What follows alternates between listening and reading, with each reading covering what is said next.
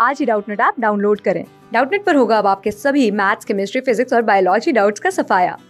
बस अपने क्वेश्चन की फ़ोटो खींचो, उसे क्रॉप करो और तुरंत वीडियो सोल्यूशन पाओ। Download now. यहाँ पर हमें दिए गए ऑप्शंस को देखकर बताना है कि इनमें से कौन सी प्रोसेस में मेंडल का लॉ ऑफ़ सेग्रीगेशन एप्लीकेबल होगा। अब ये तो हम जानते हैं कि जब भी हेरिडिटी की या इनहेरिटेंस की बात की जाए तो सबसे पहले जिस साइंटिस्ट का नाम हमारे सामने आता है, वो है ग्रेगर मेंडल। क्योंकि इन्होंने लगातार सात सालों तक पाइसम सटाइवम, यानी गार्डन पीज के प्लांट्स की कई जनरेशन रेज करके ये जानने की कोशिश की थी कि किस तरीके से कोई ट्रेट पेरेंट से अगली जनरेशन में, यानी उसके प्रोजनी में जाता है। तो ये सारे एक्सपेरिमेंट्स कैरी आउट करके, डेटा कलेक्ट करके इसकी स्टेटिस्टिकल एनालिसिस करने के बाद इन्होंने तीन जनरलाइजेशन हमें दी थी, जिन्हें लॉज ऑफ़ इनहेरिटेंस कहते हैं। और जो दूसरे नंबर का लॉ है, इसमें लॉ ऑफ़ डोमिनेंस के बाद, वो आ जाता है हमारे पास लॉ ऑफ़ सेग्रीगेशन तो इसका हम मतलब समझने की कोशिश करते हैं। मेंडल के अनुसार, कोई भी ट्रेट फैक्टर्स के कंट्रोल के अंडर होता है, जो कि हमेशा पेयर्स में अकर होते हैं। तो फैक्टर्स से असल में मेंडल का मतलब था जीन्स उस समय पर जेनेटिक्स के बारे में नॉलेज नहीं थी, इसीलिए ये टर्म्स यूज़ की। तो कोई भी ट्रेट एक जीन के कंट्रोल के अंडर होता है, जिसके दो ऑल्टरनेटिव फॉर्म्स पॉसिबल हैं, जिन्हें आज हम एलील्स कहते हैं। इसमें से एक एलील डोमिनेंट होगी और एक रिसेसिव होगी। तो सपोज़ हम मेंडल के गार्डन पीस के प्लांट का यहाँ पर एग्ज़ाम्पल लें। ट्रेड सपोज़ हम ले रहे हैं प्लांट की हाइट तो स्टेम हाइट के केस में हमारे पास दो तरह की एलील्स पॉसिबल है। कैपिटल टी जो कि टॉल प्लांट्स प्रोड्यूस करेगी और हमारी स्मॉल टी हमारी रिसेसिव एलील हो जाएगी, जो कि डॉर्फ प्लांट्स प्रोड्यूस करेगी। तो अब किसी भी इंडिविजुअल में तीन तरह की पॉसिबिलिटी हो सकती है। या तो दोनों उसके पास डोमिनेंट एलील हो तो ऐसे केस में उसका फिनोटाइप जो है डोमिनेंट हो जाएगा टॉल प्लांट होगा।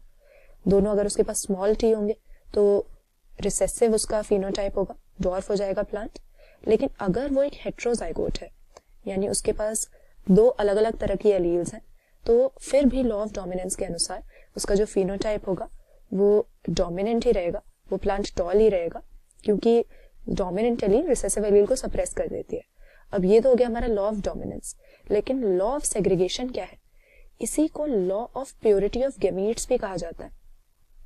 क्योंकि हम जानते हैं सेक्सुअल रिप्रोडक्शन की किसी भी प्रोसेस में सबसे जो एक इंपॉर्टेंट इवेंट होता है, वो होता है फर्टिलाइजेशन का।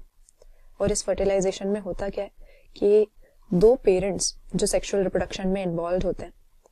एक हमारा मेल पेरेंट दूसरा फीमेल पेरेंट इन दोनों से दो हेप्लॉइड सेल्स आते हैं, जिनको गैमीट्स कहा जाता है। और ये हेप्लॉइड सेल्स आपस में जब फ्यूजन करते हैं, इसी प्रोसेस को फर्टिलाइजेशन कहते हैं, जिससे हमें दो हेप्लॉइड गैमीट से बना हुआ एक डिप्लॉइड जाइगोट मिलता है, जो आगे जाके एम्ब्रियो बनाएगा। तो यहाँ पर मेंडल का लॉ ऑफ़ सेग्रीगेशन से क्या मतलब है? कि ये दोनों अलग अलग एलील्स हमारी। एक कैपिटल टी और एक स्मॉल टी एक डोमिनेंट एक रिसेसिव लेकिन जब गेमीटोजेनेसिस होती है तो गेमीटोजेनेसिस तो मियोसिस से होती है रिडक्शनल डिवीज़न से होती है, और गेमीट्स हेप्लॉइड होते हैं। तो ये दोनों जो है, ये एलील अलग अलग गेमीट में जाएँगी।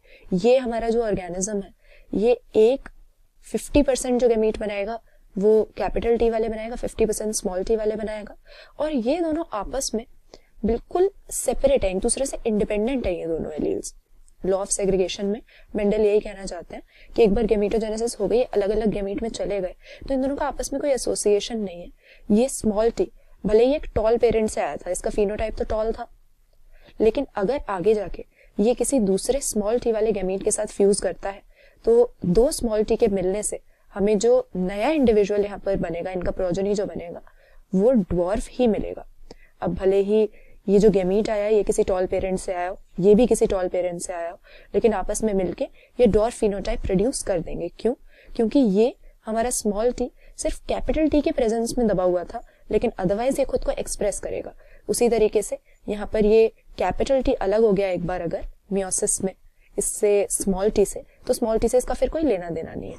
तो इसी को लॉ ऑफ़ सेग्रीगेशन कहा जाता है। और ये कहाँ एप्लीकेबल हो रहा है? जब गेमीट्स बन रहे हैं, जब रिडक्शनल डिवीज़न हो रही है तो पेरेंट के पास एक जीन के जो दो एलील्स पॉसिबल है, वो दोनों अलग अलग गेमीट्स में चली जाती हैं, उन दोनों का आपस में कोई एसोसिएशन नहीं रहता है। ये हमें गेमीटोजेनेसिस की प्रोसेस में ही नज़र आता है। बाकी अगर ऑप्शंस देखें तो हमें मियोसिस की कोई प्रोसेस यहाँ पर नहीं दिख रही है। फ्यूजन ऑफ़ गेमीट्स ये तो फर्टिलाइजेशन की प्रोसेस है। इसमें दो एलीज का एक दूसरे से अलग होना क्या? बल्कि दो सेल्स आपस में फ्यूज करके जाइगोट बनाते हैं। तो कोई सेग्रीगेशन नहीं हो रही। फॉर्मेशन ऑफ़ जाइगोट भी फर्टिलाइजेशन के बाद ही होगी। और formation of primary endosperm nucleus ये फ्लारिंग प्लांट्स की सेक्सुअल रिप्रोडक्शन का एक हिस्सा है जहाँ पर सेंट्रल सेल के साथ हमारा मेल गेमीट फ्यूज होकर ये प्राइमरी एंडोस्पर्म न्यूक्लियस बनाता है जो कि जा, आगे जाके एंडोस्पर्म बनाएगा एम्ब्रियो की नरिशमेंट के लिए। लेकिन इसमें भी, क्योंकि फ्यूजन हो रहा है, ये एक ट्रिपल फ्यूजन की प्रोसेस है तो यहाँ पर भी हमें किसी तरह की सेग्रीगेशन नहीं देखने को मिल रही। अगर हमें लॉ ऑफ़ सेग्रीगेशन देखना है तो गेमीट्स की फॉर्मेशन के दौरान ही हम देख सकते हैं कि जो दो एलील्स एक इंडिविजुअल में इकट्ठे मौजूद थे, किस तरह के एक दूसरे से बिल्कुल अलग अलग हो जाते हैं, और फिर आपस में इनका कोई एसोसिएशन नहीं रहता, बिल्कुल इंडिपेंडेंट है एक दूसरे से। तो करेक्ट आंसर यहाँ पर हमारा ऑप्शन डी हो गया। क्लास सिक्स से ट्वेल्थ से लेके NEET I I T JEE mains और एडवांस के लेवल तक। दस मिलियन से ज़्यादा स्टूडेंट्स का भरोसा। आज ही डाउनलोड करें डाउट नेट आप या व्हाट्सअप कीजिए अपने डाउट्स आठ चार सौ चार सौ चार सौ पर।